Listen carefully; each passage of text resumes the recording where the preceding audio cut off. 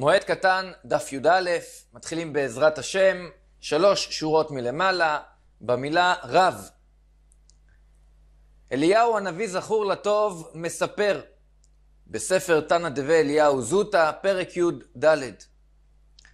פעם אחת הייתי מהלך ממקום למקום, ומצאני אדם אחד עם הארץ, שלא היה בו לא מקרא ולא משנה. ומה היה מתעסק? ליצנות, היה מתלוצץ ומלעיג בדברים. הוא בא כנגדי. אומר אליהו הנביא, אמרתי לו, אתה לא לומד תורה? בני, אחרי המאה ועשרים, אחר אריכות ימים ושנים טובות, כשאדם מגיע לעולם הבא, שואלים אותו, האם עסקת בתורה? מה אתה משיב לאביך שבשמיים? ליום הדין. אותו אדם לא היה נראה שהוא נבהל, ואמר לי, רבי, יש לי דברים שאני משיבו. יש לי תשובה לענות, למה לא למדתי תורה? בינה ודעת לא נתנו לי מן השמיים שאקרא ושאשנה. לא היה לי אפשרות להבין דברי תורה. אמרתי לו, בני, ככה מספר אליהו הנביא, שאלתי את האדם ההוא, תגיד, אתה מתפרנס? בוודאי. מה מלאכתך? אמר לי, צייד דגים אני. אני מתפרנס מלדוג דגים, לשווק אותם. אמר, אמרתי לו, בני, לדוג דגים זה אומנות לא פשוטה? מי לימדך ואמר לך שתביא פשתן ותהרגהו במצודות, תהרוג את החוטים, תעשה מהם מצודות, ותשליכהו לים ותעלה הדגים מן הים. מי לימד אותך את החוכמה והאומנות הזאת? יש לך חוכמה, בינה ודעת. נתנו לך משמיים חוכמה. אתה רואה שאתה יכול לעשות מצודות של דגים? אמר לי, רבי, בזה נתנו לי בינה ודעת מן השמיים, אבל דברי תורה אני לא מבין. אמרתי לו, דברי תורה הרבה יותר פשוט להבין מה, מלהבין עניינים של מלאכה, של אומנות. ומה להביא פשתן ולארוג מצודות ולהשליך לים ולהעלות דגים מן הים, נתנו לך בינה ודעה מן השמיים. לדברי תורה, שכתוב בה, כי קרוב אליך הדבר מאוד, בפיך ובלבבך לעשותו. התורה מעידה שכל יהודי, אם הוא מאוד רוצה, יכול להבין דברי תורה. כי קרוב אליך הדבר מאוד. וכי לזה לא נתנו לך בינה ודעה מן השמיים? לשמוע דברים כאלה מאליהו הנביא, מיד היה מרים קולו ובוכה ומתענח. יש מבארים שהוא מאוד נשבר מזה, מאוד התייאש. בא אליהו הנביא עכשיו לחזק אותו.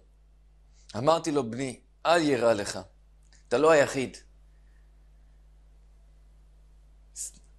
תסתכל מסביב. כל שאר בני אדם באי עולם, הם משיבים תשובה זו. באמת, הם באים לעולם הבא, שואלים אותם למה לא למדתם תורה, הם משיבים את התשובה, לא היה להם בינה ודעת, הם לא הצליחו להבין. לכן הם יצאו ועזבו את הלימוד.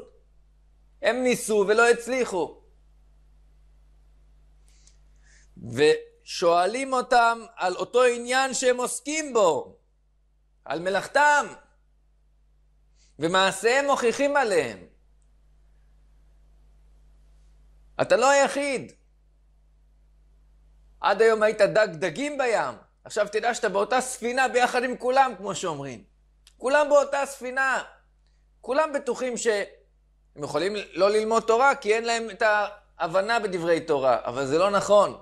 כי אם אדם מתאמץ, מתעקש ומשקיע, כל אחד יכול להבין דברי תורה. אותו אדם היה עושה רשתות ומצודות לצוד בהם דגים. זאת הייתה אומנותו. האם היה מותר לו לקשור את אותם הרשתות, להרוג את אותן המצודות בימי חול המועד? מביאה הגמרא שרב התיר. רב שרה, הוא התיר לחייא בר אשי, כנראה הוא גם כן היה צייד שדג דגים, הוא התיר לו למגדל או הרי לעשות מצודה שצדים בה דגים בימי חול הדמועדה, בימי חול המועד. מה הייתה מה? למה הוא התיר? כי לעשות מצודות של דגים, מעשה הדיוט הוא.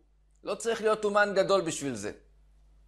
אגב, מהמעשה של אליהו הנביא, שאיתו פתחנו את השיעור, אנחנו רואים שדברי תורה, להבין אותם, גם אדם שהוא פחות מלא אומן, מה שנקרא אדיוט, גם פחות מזה יכול להבין דברי תורה. כי באמת אותו אדם לקח לעצמו אומנות שלא צריך להיות אומן בשביל זה, כמו שהגמרא כאן מביאה, של לעשות מצודה שצדים בדגים, זה בסך הכל מעשה אדיוט. אז אם כן, ללמוד תורה זה עוד יותר אמור להיות פשוט, בפיך או בלבבך לעשותו. אבל לגדול איזלי, רשתות של חוטים שיש להם תוך, שיש להם אפשרות עם בית קיבול, כמו כלי, שבהם צדין עופות, זה אסור לעשות בימי חול המועד. למה? מה איתה מה? כי לעשות את הרשתות האלה, זה כן מעשה אומן הוא, זה יותר מורכב. אם אתה עושה צורה של בית קיבול, זה יותר מרשתות רגילות שדגים בהן דגים, שלא צריך להיות להם צורה. מספרת הגמרא, רב יהודה התיר שרה לעמי שהיה עושה תנורים, עמי תנורה, לעשות תנור חדש בחול המועד, למגדל תנורי. וכן, רב יהודה התיר לרבא בר אסבי לעשות נפה, שמנפים בה קמח, למגדל מהולתא. שואלת הגמרא, איני? וכי זה באמת ככה שמותר לעשות תנור חדש בימי חול המועד?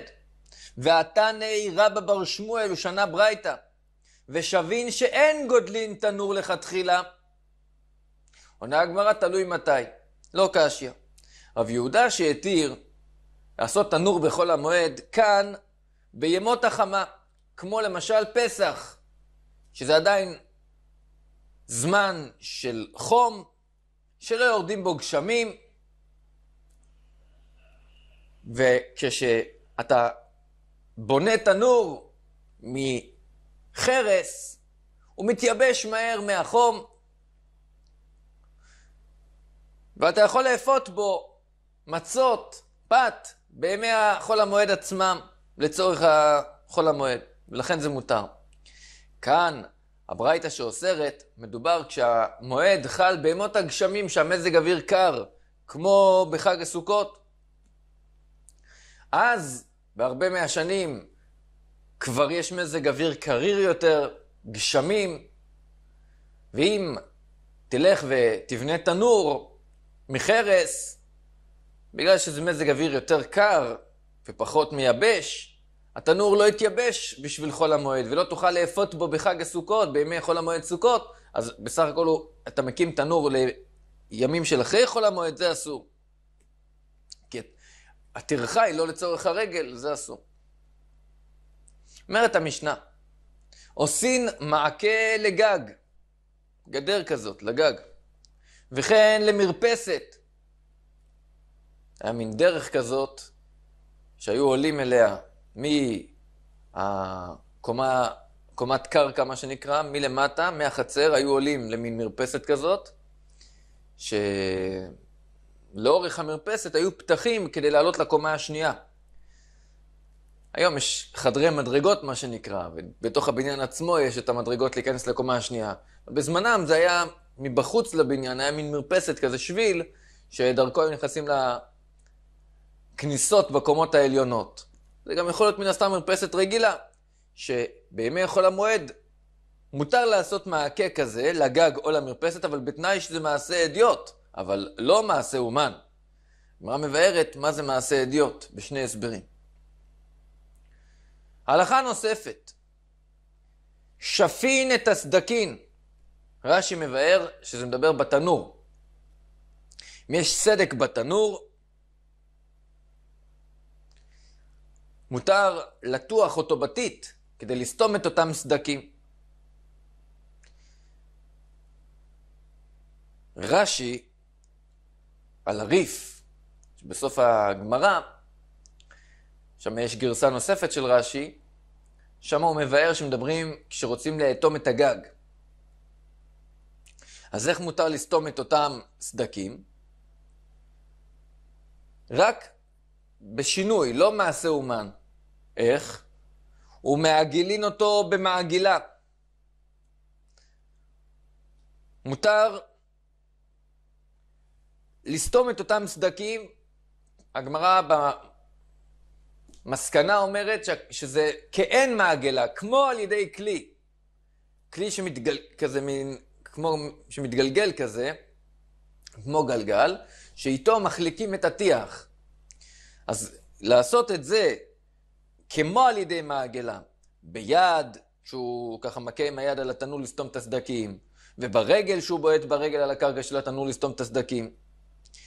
אפילו שהוא עושה את זה כמו שעושים על ידי כלי שנקרא מעגלה, מותר. אבל לא יתוח את אותם סדקים בכלי שהוא מעשה אומן, שהיה נקרא מחלציים, שזה היה עשוי כמו רגל כזאת מעץ, שאיתה היו תחים בצורה מעשה אומן את אותם סדקים. זה אסור. הלכה נוספת. הציר, שזה הציר של, שבצידי הדלת, בזמנם, איך היו מחברים את הדלת למשקוף? אז זה לא כמו היום שמחברים את זה לצידי המשקוף, אלא היו מחברים את זה עם ציר מלמטה לאסקופה, ולמעלה, ל... היום אולי קוראים לזה משקוף, אבל קורה שמעל המשקופים. למעלה ולמטה. אז הציר זה החלק הבולט מעל ומתחת לדלת, שהוא נכנס לתוך האסקופה והמשקוף למעלה. אז אם הוא נשבר, מותר לתקן את זה בחול המועד. למה? כי הוא לא יכול להשאיר את הדלת פתוחה. יכולים להיכנס חלילה גנבים, מסוכן, זה הפסד, יכול להיות הפסד. וכן, הצינור, זה החור, החור שבאסקופה שבדלת, כנראה שהיו תוכבים שם מין צינור. משהו כזה מין שהיו עושים חור ותוקעים שם כזה מין צינור, שבתוך הצינור היו שמים את הציר של הדלת. היה מסתובב שם על הצינור הזה. אם הוא נשבר, מותר לתקן אותו בימי חול המועד. וכן הקורה, יש את שני המשקופים, ויש את המשקוף למעלה, זה הקורה. והמנעול והמפתח שנשברו, מתקנם בחול המועד. ובלבד שלא יניח מלתקן את כל הדברים האלה באמצע השנה, כי הוא יודע שבימי חול המועד יהיה לו זמן. שלא יתכוון לעשות מלאכתו במועד. הלכה נוספת, וכל כבשין כמו דגים ודברים שכובשים אותם במלח. אז אם עושים את זה, כבישה מהירה שאפשר לאכול אותם כבושים ממש בימים הקרובים, שהוא יכול לאכול מהן במועד, הוא כובש את זה בתחילת ימי חול המועד, ועוד במהלך ימי חול המועד יוכל לאכול מהכבשים האלה, כובשם בחול המועד לצורך המועד.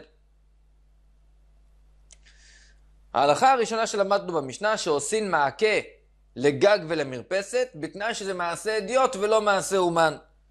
מביאה הגמרא שני הסברים היחידה ממעשה אדיוט. הסבר ראשון רב יוסף אמר, בהוצה, ענפים של דקל של תמר, ודפנה, עץ דפנה, שהוא מחבר אותם עם הענפים של הדקל.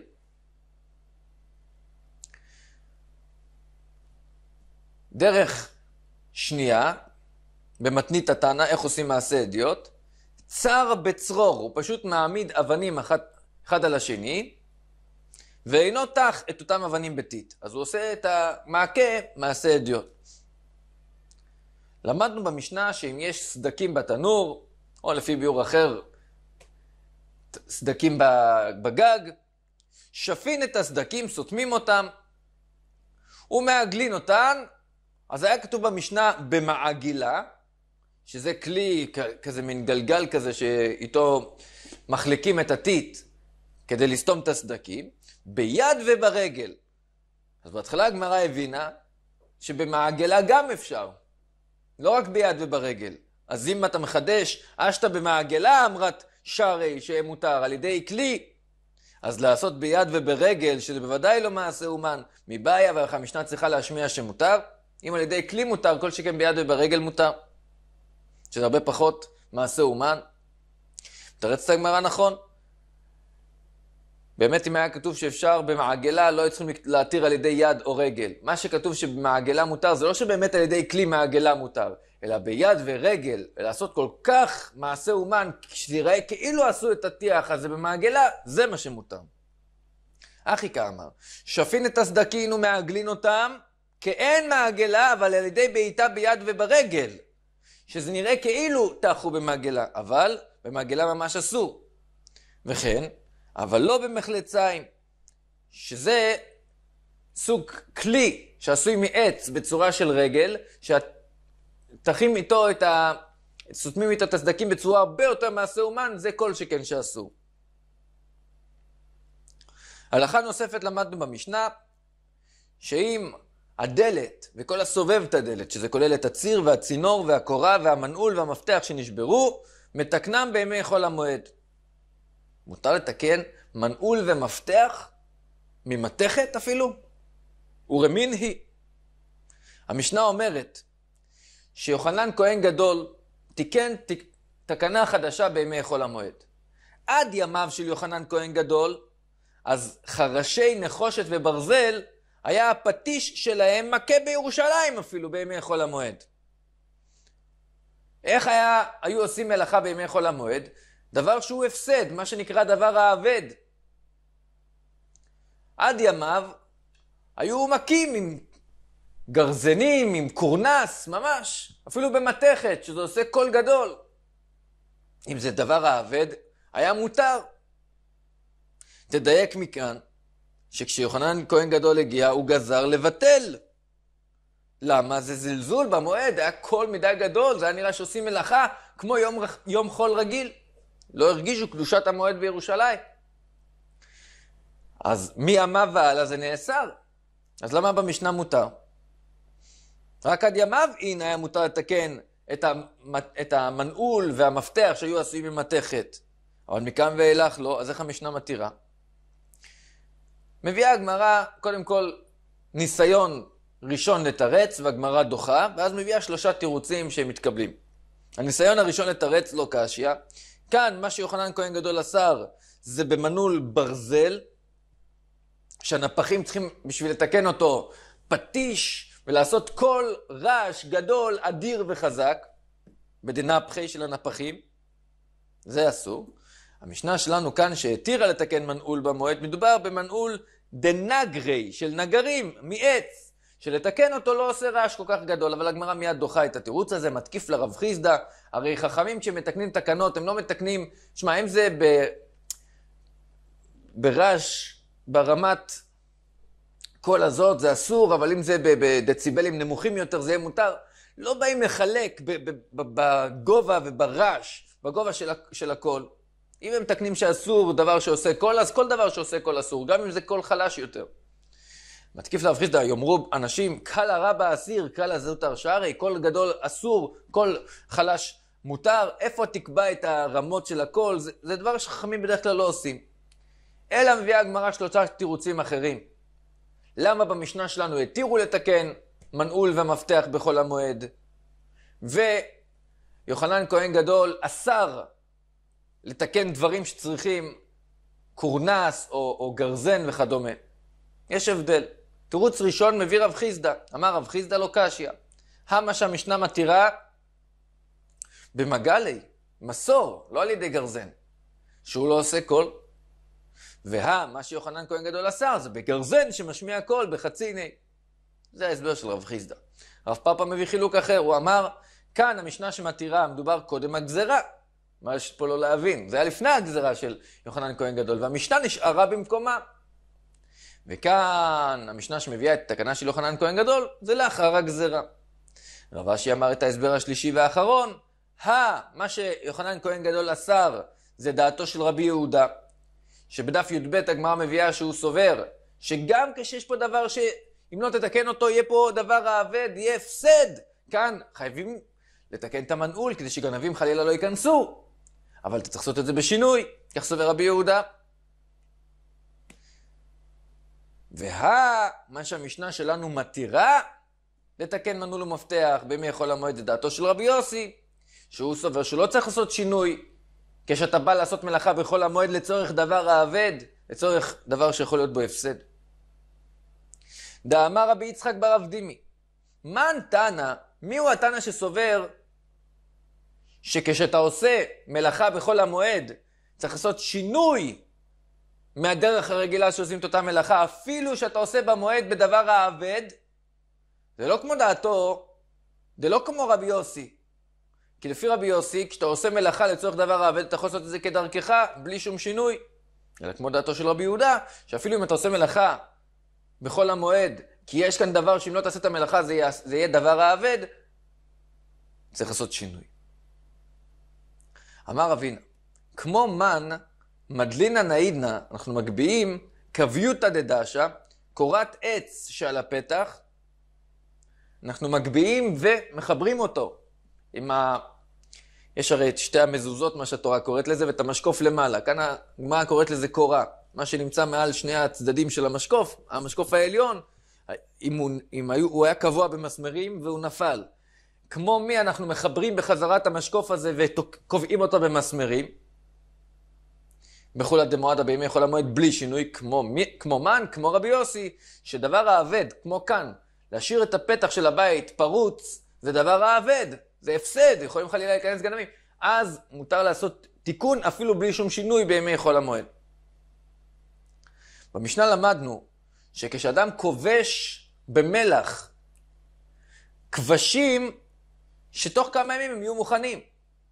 אז מותר בימי, תחילת ימי חול המועד, כבשים שהוא יכול לאכול בהמשך ימי חול המועד, כובשם בתחילת ימי חול המועד.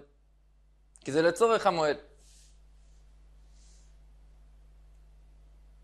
מספרת הגמרא, היה פעם שבסמוך לבאי, מקום שנקרא ליבאי, היה נהר שקראו לו בדיטה. ועשו דרך, בני העיר ליבאי עשו דרך לנהר בדיטה, שהמים של הנהר יישפכו החוצה. כי במים האלה גם היה הרבה דגים, הם רצו לצוד את הדגים לצורך חול המועד. אבל הייתה הצלחה גדולה מאוד. ובנהר בדיטה, שבסמוך למקום שנקרא ליבאי, הוציאו את המים מהנהר בשביל הקברי, בשביל הדגים, והיו שם הרבה דגים. הזיל, אז ככה, יש פה שתי לשונות, מה בדיוק היה שם? שני לשונות. לפי לשון ראשון, מה שהיה, שבאו האנשים ולקחו הרבה דגים. הזיל כולי עלמא, סוד והייתו קברי. לקחו הרבה דגים. הם התכוונו לקחת הרבה דגים לצורך חול המועד. לפי החזון איש, הם לקחו לא הרבה יותר ממה שצריך, הם לקחו כמה שצריך, רק ברווח. קצת יותר ממה שצריך, כדי שיהיה ברווח, לא מצומצם. לפי המגן אברהם, הם לקחו הרבה מעבר למה שהם היו צריכים. רק מה? תשמע, אתה תביא הביתה סל מלא בהרבה דגים, ובבית אתה תבדוק, אולי הדג הזה ניקח, לא, אתה יודע מה, ניקח אולי את הדג הזה. אתה תוכל לבחור איזה דגים תיקח מתוך כמות גדולה של דגים. אז אם ככה גם כמות מעבר למה שצריך בכל המועד נקרא לצורך המועד. בכל אופן, הם לקחו דגים לצורך המועד. ואחר כך נשאר להם. באו לשאול את רבא, כבוד הרב, האם מותר לנו עכשיו למלוח את הדגים? היה, לא היה להם מקפיא. לא היה להם מה שלנו יש, אפשר להקפיא את הדגים, להשאיר את זה לאחרי חול המועד. אז היו מולחים את זה במלח, שזה מקיים למשך זמן ממושך. שאלו האם מותר למלוח את הדגים האלה כדי שהם יתקיימו לאחרי חול המועד. שרה לאו רבא לממלח מנהיו. רבא התיר להם למלוח את מה שנשאר בשביל אחרי חול המועד, אפילו שאי אפשר עכשיו לאכול מהדגים האלה, כי זה כל כך יהיה מלוח שבחול המועד לא תוכל לאכול מהם. בכל זאת הוא התיר. אמר לי אביי, איך אתה מתיר למלוח דגים בחול המועד לצורך אחרי חול המועד? והרי במשנה שלנו, אתנן, מתי מותר לכבוש ולמלוח? דווקא כבשים שהוא יכול לאכול מהם במועד עצמם כובשם? אז רבא אמר לי, כיוון דמעיקר רק כשהם בהתחלה לקחו את הדגים, הדתא דאכילה איתינו, הם רצו לאכול את זה בימי חול המועד. ועכשיו נשאר להם הרבה דגים, ואיש אביק לו, אם הם לא ימלכו את הדגים האלה, זה ילך לאיבוד, פס דיי.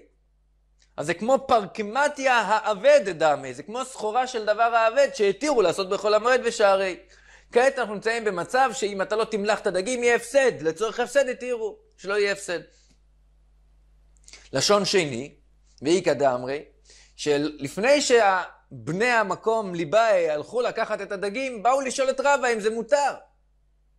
שר אליהו רבא מיצד לצוד דגים, מיזל ללכת, העיתויי להביא הרבה דגים, יותר ממה שהם יצטרכו בשביל ימי חול המועד. הרבה יותר. והוא ידע שהם לוקחים דגים גם לאחרי חול המועד, לפי הלשון הזה. והוא התיר להם למלוח את כל הדגים.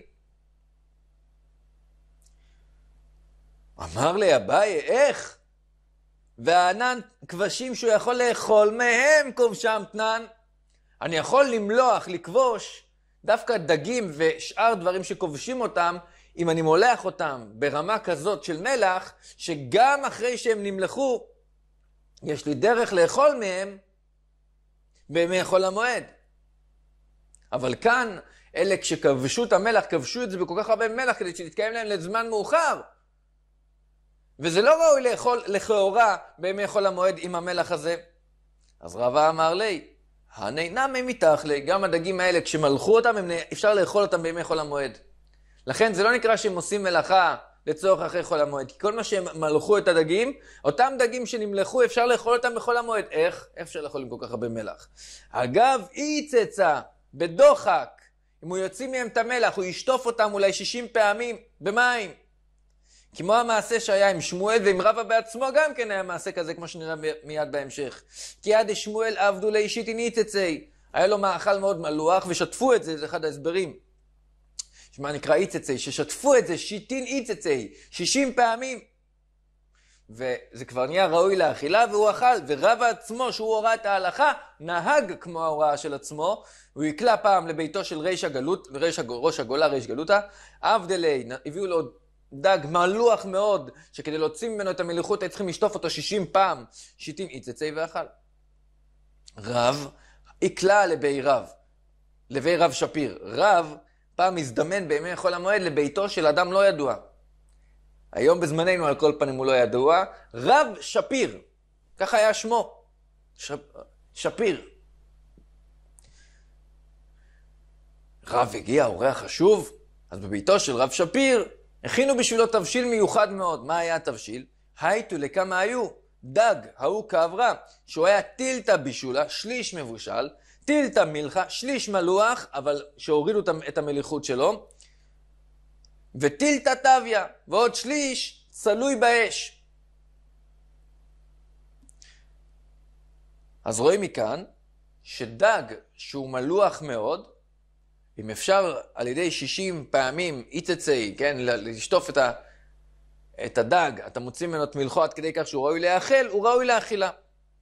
לכן מה שמלכו את הדגים בימי חול המועד, זה לא נחשב שעשית פה מלאכה לצורך אחרי חול המועד, כי אותם דגים, דגים שמלכו בחול המועד, היה אפשר לאכול מהם בימי חול המועד עצמו. עכשיו הגמרא מביאה פה רשימה של כמה אמרות שאמר רב, שהוא שמע אותם מדייג, מדייג שדג דגים. האמרה הראשונה אמר רב, אמר לי עדה שהוא ציידה, שהוא צד דגים. קברה, דג, סמוך למסרחי, אחרי שעובר זמן מאז שצדו אותו, מאז שדגו אותו, שהוא כבר קרוב להתקלקל, מעלי, אז הוא מאוד מאוד מעולה. תוספות מביא כאן, לא צריך להגיד באיזה דיבור המתחיל, כי יש כאן רק תוספות אחד בעמוד הזה, דיבור המתחיל קברה, מביא כאן דבר שצריך להכניס אותו לתוך הראש, ושהוא יישאר בראש כל הזמן. כי זה דבר שחשוב לדעת אותו תמיד כשלומדים בגמרא. עניינים שקשורים לבריאות, רפואה, זה דברים שהיו נוגעים לזמנם, לזמן הגמרא, לזמן המשנה. זה לא דברים שצריכים, שתמיד נוהגים בזמננו גם. תוספות כותב כאן, היום תופסים סכנה לאכול דגים סמוך לזמן שמתקלקלים. זה מסוכן לאכול את הדגים אחרי שהם עומדים הרבה זמן. והוא מבאר על דבר נוסף שבהמשך פה מביאים שזה בריא. שמא נשתנו. התוואים השתנו, הטבע שונה היום ממה שהיה פעם. מה שפעם היה בריא, היום יכול להיות מסוכן. כמו הרפואות שבש"ס. הרפואות שכתובים בהרבה מקומות בש"ס, שאם האדם יש לו חולי כזה חלילה, אז הרפואה שלו היא כך וכך וכך, ייקח את זה ויעשה עם זה ויעשה כך וכך. הרפואות האלה שבש"ס, היום הן כבר לא מועילות. השתנו התוואים, שאינם טובות בזמן הזה. כך כותב תוספות, מילים ברורות. זה חשוב לדעת. תוספות, מסכת מועד קטן, דף י"א.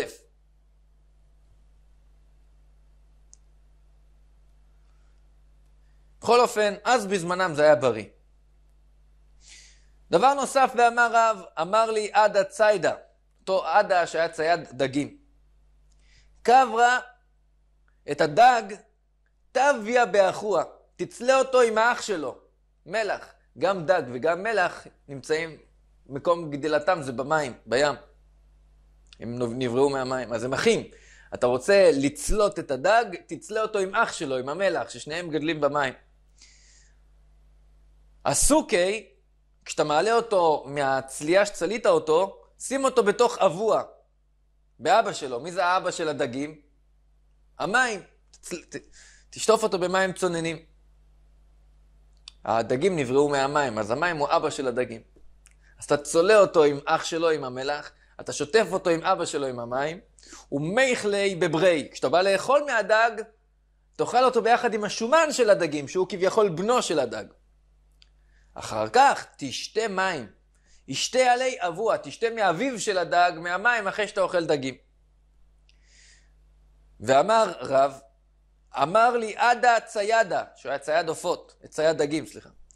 כעברה דגים, תכלי שחליים וחלבה חלב, לא ללכת לישון מיד אחרי שאכלו אחד מהשלושה דברים האלה, אלא לטעון גופה, שהאדם ילך לפני שהוא הולך לישון הרבה, שילך הרבה לפני שהוא הולך לישון, ולא לטעון פוריה, שלא ילך למיטה מיד אחרי שהוא אכל את אחד מהשלושה דברים האלה, או שתה, אכל ושתה, אכל אה, דגים או שחליים ושתה חלב. רב, אמר לי עדה ציידה, שהצייד דגים. קברה דגים, תכלי שחליים, וחלבה חלב, אחרי שאכל או שתה מהם, עדיף שישתה מאיה, מים, ולא שכרה, לא שיכר. ואם הוא כבר שותה שכרה, אם הוא, אם הוא רוצה לשתות לא מים, אלא או שיכר או יין, עדיף שישתה שכרה ולא חמרה. כי לשתות יין אחרי אחד מהדברים האלה, זה פחות טוב. הדרן הלך, פרק הראשון, מסכת מועד קטן, פרק משכין בית השלכים. מחיל אל חיל אנחנו עוברים לעסוק בפרק השני במסכת מועד קטן, פרק מי שהפך. הפרק שלפנינו ממשיך לעסוק בהיתר לעשות מלאכה בימי חול המועד במקום הפסד, או אם יש חשש של הפסד. היתר נוסף לעשות מלאכה בימי חול המועד, אני, שאין לו כסף לקנות אוכל, מותר לו ללכת לעשות מלאכה, להשתכר, כדי שיהיה לו מעות לקנות אוכל לימי חול המועד. בנוסף, בפרק שלפנינו נעסוק בתנאים ובפרטים כשהתירו לעשות מלאכה בחול המועד, באיזה אופן התירו. בנוסף, בדרך אגב, גם מדברים פה על דיני אבל, שגם הוא אסור במלאכה, בדומה לאיסור עשיית מלאכה בימי חול המועד. אומרת המשנה, הסדר, הדרך, איך בזמן התנאים היו עושים שמן זית, היו אוספים את כל הזיתים, אבל הזיתים, כשהם תולשים אותם מהעץ, הם קשים, הם מרים, הם לא ראויים שיעשו מהם עדיין שמן. לכן היה הדרך לשים אותם בכלי, לצופף אותם בתוך הכלי, שנקרא מעתן, אותו כלי, עד שמתחממים, מזיעים ומתרככים.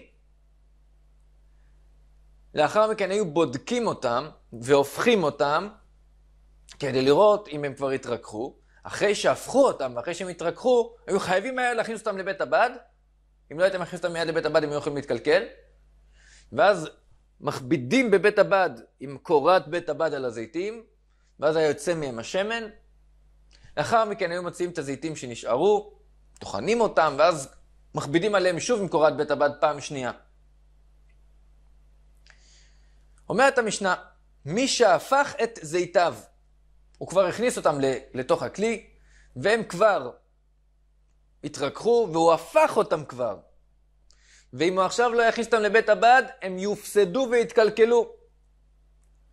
והוא לא הספיק לשים את הזיתים בבית הבד, ושנזכה להיבדל לחיים טובים וארוכים, אנחנו וכל משפחותינו. הראו אבל. נפטר, לא עלינו, אחד מהשבעה קרובים שלו, או אביו או אמו, אחיו, אחותו, בנו, ביתו ואשתו. ובימי אבלות הוא אסור בעשיית מלאכה. אז מה הדין של אותו אבל? מותר לו לשים את הזיתים בבית הבד או אסור לו?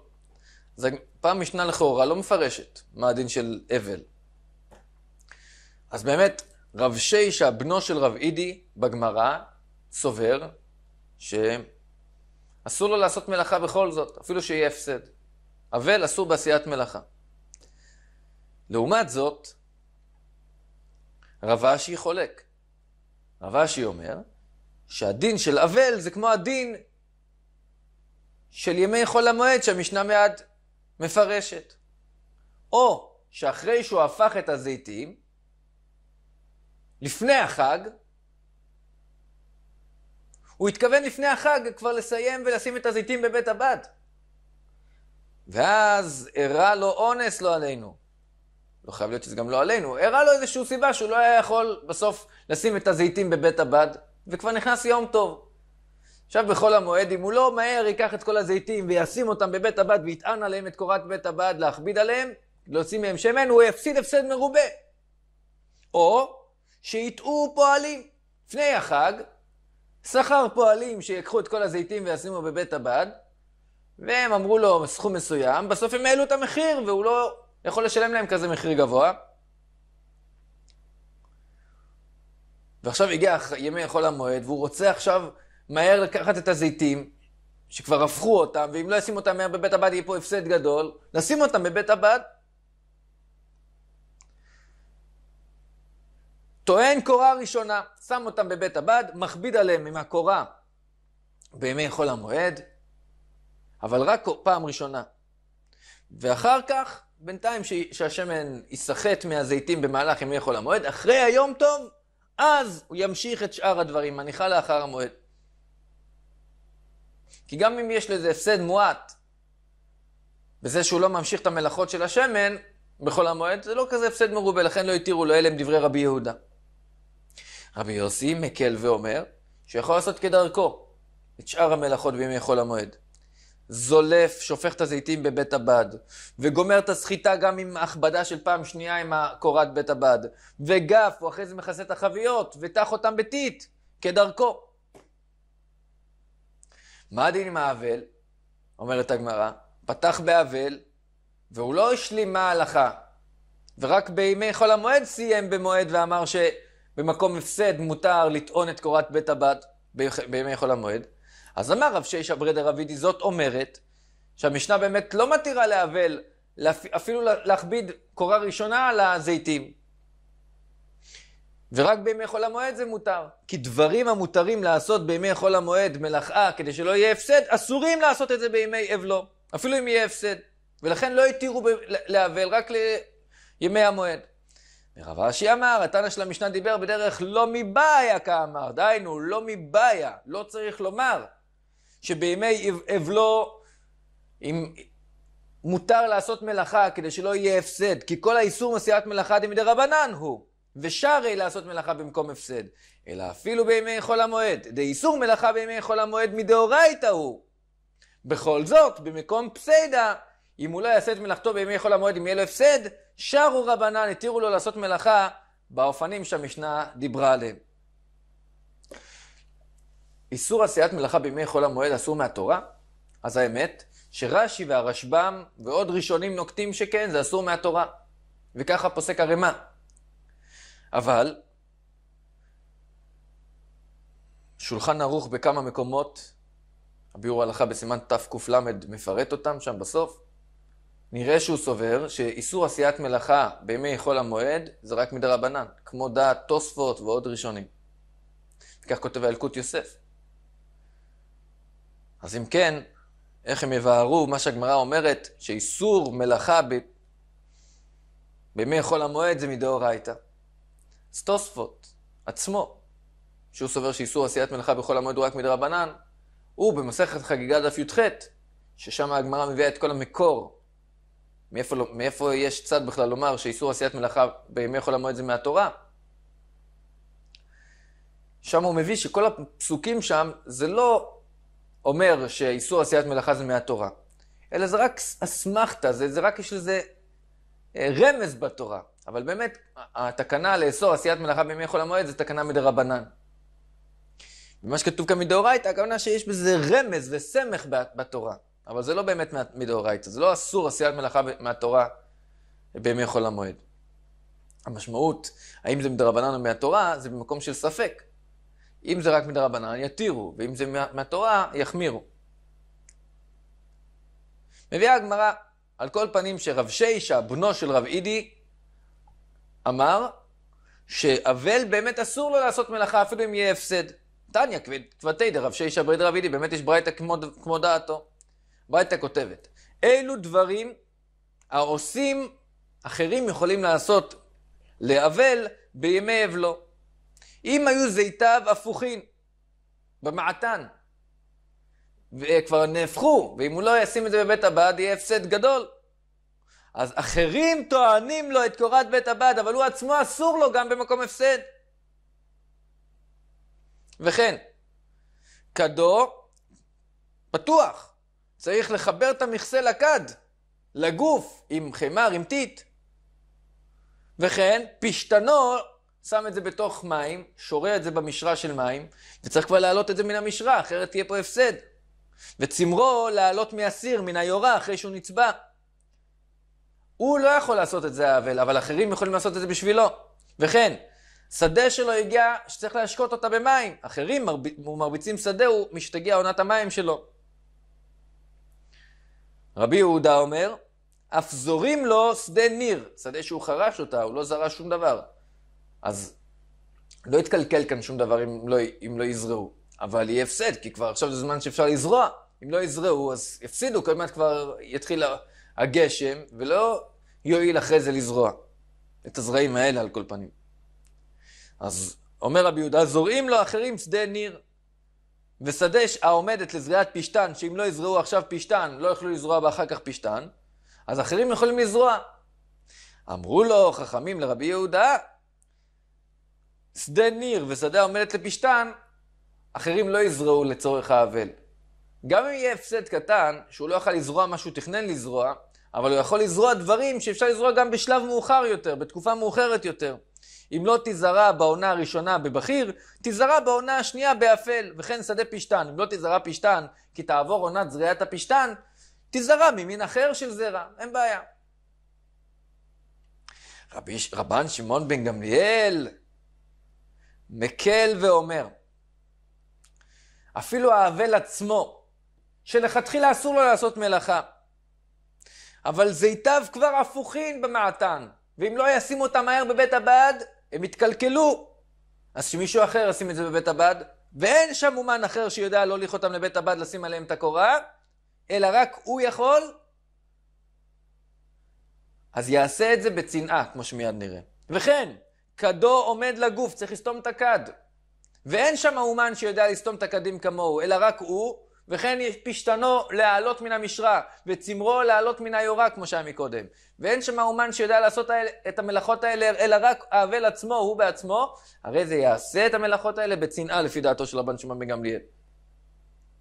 יתר על כן, אמר רבן שמעון בן גמליאל, אפילו לאחרים, אם האבל היה אומן לעשות מלאכות לרבים, וספר, ובלן שמחמם את המרחץ ומשרת שם את האנשים לרבים, והגיע את הרגל ואנשים צריכים עכשיו לרחוץ, להסתפר את כל המלאכות שרק הוא יודע לעשות. אין שם שום אומן שיודע לעשות את המלאכות האלה, אלא רק הוא בעצמו, הרי זה יעשה, כי יש כאן צורך והפסד לרבים. ואפילו שהוא לא יכול לעשות את זה בצנעה, התירו לאבל. אבל, האריסין, שזה הסכם בשדה, שהחקלאי שיודע לעבוד בשדה, עושה עם בעל השדה. הוא אומר, תשמע, אני משקיע לך את כל השדה, את כל מה שצריך בשדה, ואני מקבל חצי מהתבואה, מהיבול. שליש, רבע, לפי מה שמסכמים ביניהם. זה נקרא האריסין. וכן החכירין. חכ... הסכם חקירה, זה דומה לאריסות, רק זה הסכם אחר. הח... החקלאי עושה את כל המלאכות בשדה, הוא אומר לו, תשמע, מה שיגדל מהשדה הזאת, דווקא מהיבול של השדה הזאת עצמה, איך שזה יגראה, לא משנה איך, אתה תקבל סכום מסוים, וכל השאר יהיה בשבילי, בשביל החקלאי, בשביל החכיר, זה שחוכר. וכן הקבלנים, שפה מדובר על חקלאי שעובד בקבלנות, הכוונה היא שהוא מסכם איתו על תשלום. לא אכפת לי מה יצא פה בשדה, אני עושה את מירב ההשתדלות כדי שבאמת יצא פה מה, מהשדה היבול הטוב ביותר, אבל אני את הסכום שלי צריך לקבל, לא משנה לי מה יצא פה בסוף מהיבול.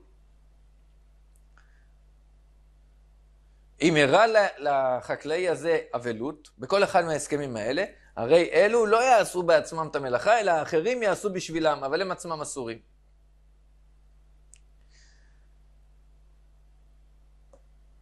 החמרין, פעם היו רגילים להסיע אנשים על גבי חמורים, אז אלה שרגילים להרכיב אנשים על חמורים, או הגמלים שמובילים במדבר על גבי גמלים, והספנים שמובילים במים על בספינות, אם הראה להם חלילה הבל, הרי אלו לא יעשו. לא יזכרו, לא ילכו לזכור את עצמם לאחרים בשביל להסיע אותם בימי האבלות. ואם כבר היו מוחקרים או מוזכרים אצל אחרים לזמן מסוים, למשל, או שנה שלמה הוא מסיע תלמידים למוסדות חינוך. על, ידי, על גבי חמור, מה שמדובר פה. כמובן שהם פוסקים דנים לעניין הרכבים של ימינו. בכל אופן, כבר סיכם למשך זמן. ואם הוא לא ילך עכשיו ויסיע את, ה, את מי שצריך, כמו שהם סיכמו למשך זמן, הוא יפסיד את כל החודש, את כל הזמן שהם סיכמו ביניהם, מה שהוא כבר עבד. הרי אלו יעשו, כי זה הפסד גדול אם הם לא יעשו. וכן, אלה ששוכרים אותם, השוכרים, הם יכולים להפסיד אם הם לא יעשו בשבילם. כבר סיכמו, סיכמתי איתך שאתה תעשה בשבילי את הנסיעה הזאת. אז אם הוא לא יעשה את הנסיעה, אז מי ששכר יפסיד. לכן התירו, אם זה כבר, אם זה הסכם ארוך, של זמן ארוך. אבל אם הוא רק שכיר ליום אחד, אז לא התירו.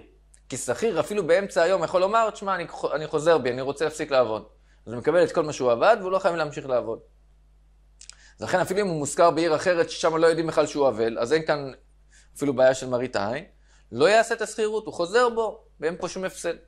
אם הוא סיכם לתקופה ארוכה, ואם עכשיו חוזר בו, הוא מפסיד את כל התקופה, ואלה ששכרו אותו מפסידים גם, אז התירו. אבל אם הוא שכיר יום, לא התירו. אם הייתה מלאכת אחרים בידו, נתנו לו בגד, אתה צריך לעשות לנו את הבגד הזה עד זמן פלוני. תעשה את זה בזמן שלך. אתה לא חייב לעבוד עכשיו, אתה לא חייב לעבוד שבוע הבא, עד זמן פלוני, נאמר תוך כמה חודשים, אתה צריך להביא לנו את הבגד מוכן. אף על פי שבקיבולת, אפילו שהוא מקבל תשלום על כל המלאכה ולא על, לפי הזמן שהוא עובד, לא יעשה. למה? בשביל מה לעשות את זה בימי אבלות? תעשה את זה אחרי האבלות. שואלת הגמרא, מה פירוש אף על פי שבקיבולת אסור? מה, ולא מבעיה שאינה בקיבולת? אז גם אסור? לא צריך לומר שאם זה לא קבלנות, יהיה אסור, אדרבה, בדיוק להפך. מתי שהוא קיבל לעשות מלאכה, שהוא צריך תוך זמן של כמה חודשים להביא את הבגד מוכן, בקיבולת, כדידי דם, זה כמו המלאכה שלו, זה תלוי בו. אז ודאי שיש יותר סיבה להחמיר עליו, למה בדיוק עכשיו שתעשה את המלאכה? תעשה את זה אחרי האבלות. מה, מה שאין כן עם אדם שכיר, זה לא תלוי בו. שוכרים אותו, תשמע, אתה צריך עכשיו לעשות, לעבוד בשביל, בשביל המשכיר שלך, בשביל הסוחר, מי שסוחר אותו. מקבל לפי עבודה. אז אולי היינו אומרים, תשמע, אם הוא לא יעבוד בימי אבלותו, הוא יפסיד, אז אולי יתירו לו. אדרבה, זה שהוא בקבלנות, זה סיבה שנחמיר עליו. אז מה פירוש שאתה אומר פה, אם הייתה מלאכת אחרים בידו, אף על פי שבקיבולת, מחמירים עליו. אם זה בקיבולת, כל שכן שנחמיר עליו. אם אתה עובד בתור קבלן, למה בדיוק עכשיו לעשות את העבודה? אתה עושה את זה אחרי האבלות. אם הוא שכיר, אתה מחדש שם, למרות שהוא עובד לפי זמן, אומרים לו, עכשיו אל תעבוד. זה מה שבאמת מתרצת הגמרא אליהם, מה צריך לגרוס בברייתא, בין אם זה בקיבולת, בין שהוא עובד אצל אחרים, מלאכה שאינה בקיבולת, אבל יש לו מלאכה של אחרים, אומרים לו, תשמע, אתה צריך לעשות בגד, אני משלם לך לפי שעה. בכל זאת אסור לו לעשות את זה בימי אבלותו. לא יעשה.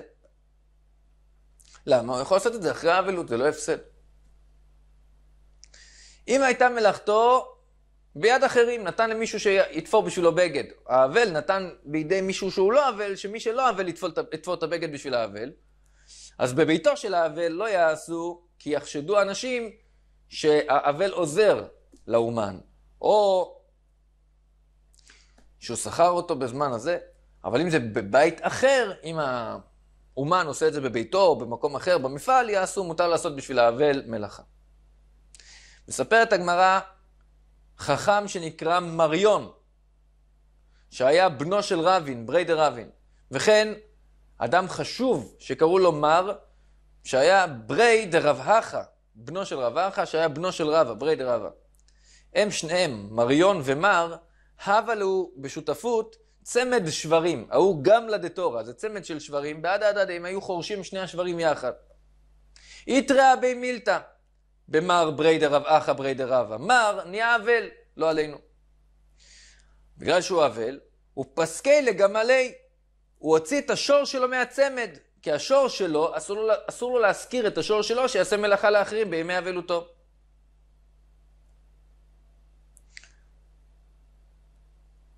אמר רב אשי, למה הוא עושה דבר כזה? הוא הרי אדם גדול. גברא רבא כמר בריידר רב אחא, אביד אחי? ככה יעשה? נעיד שהוא מחמיר על עצמו, דלפסיידא דידי לא חי, שהוא לא, מפסיד, לא, לא חושש שהוא יפסיד. ואפילו שהוא לא יאבד את השדה שלו בימים של האבלות, והוא יפסיד, הוא לא חושש להפסד של עצמו, אלא הוא מחמיר. הרי הוא לא חי לעצמו. השור שלו עובד ביחד עם השור של מריון. עד האחרים לא חייש? הוא לא חושש בשביל השותף שלו שגם יפסיד בגללו, שהוא לא באבלות.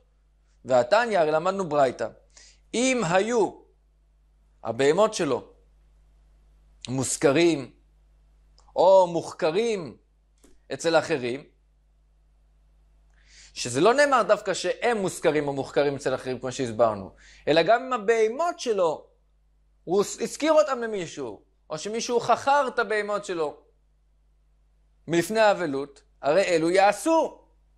מותר שהם יישארו בבית מי ששכר או חכר את הבהמות, אז למה מר לקח את הבהמה שלו? הרי זה מותר, וזה גם הפסד של מישהו אחר, למה הוא לא חושש לזה? עונה הגמרא, והוא, מר, הבן של רבחה, בנו של רבא, הסיבה שהוא חשש ולקח את השור של עצמו, כי הוא סבר, נכון שזה מותר להשכיר את השור שלי למישהו אחר. אם זה היה מושכר אצל מישהו אחר, מותר לי להשאיר את זה אצלו. אבל אדם חשוב שאני, אדם חשוב צריך יותר להיזהר מה שהוא עושה, שאנשים לומדים ממנו, ואם הוא מקל, אנשים יבואו להקל עוד יותר. לכן הוא החמיר על עצמו, והוא לא הסכים שהשור שלו יעבוד באותו צמד יחד עם השור של מריון. צריך להחמיר על עצמו, להיזהר יותר בדרכיו, כאדם חשוב, ועד כאן דף י"א.